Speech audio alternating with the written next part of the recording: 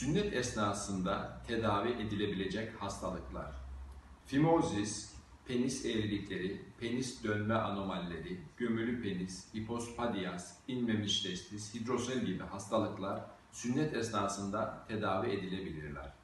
Bu hastalıkların araştırılması ve sünnete nasıl yapılacağına karar verilebilmesi için sünnet yaptırmadan önce doktorunuzla görüşmenizde çok fayda vardır. Saygılar ve sevgiler sunarım.